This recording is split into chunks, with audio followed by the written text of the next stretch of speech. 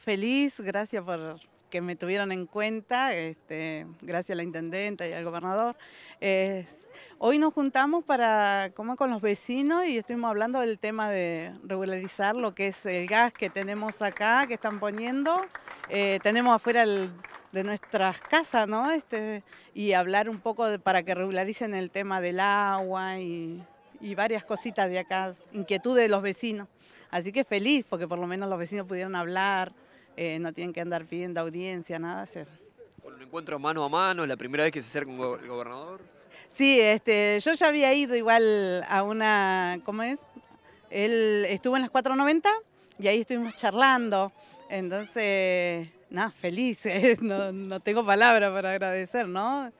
De que me tuvieran en cuenta y hoy pudieran estar acá con nosotros. ¿Y les comprometió algo el gobernador? ¿Qué les dijo respecto al, al reclamo?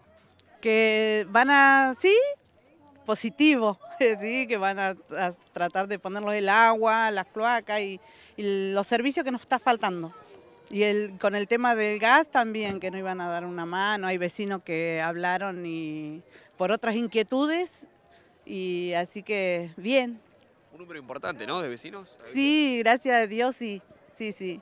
Eh, invitamos este, que iba a venir el gobernador, este, que iba a venir la intendenta y bueno, acá nos respondieron los vecinos, como siempre, eh, estar juntos y... Porque si nosotros estamos juntos, digo yo, este, podemos sacar todo positivo. Por ahí uno o dos que van este, a hacer los reclamos, no, pero cuando los vecinos se juntan, somos multitudes.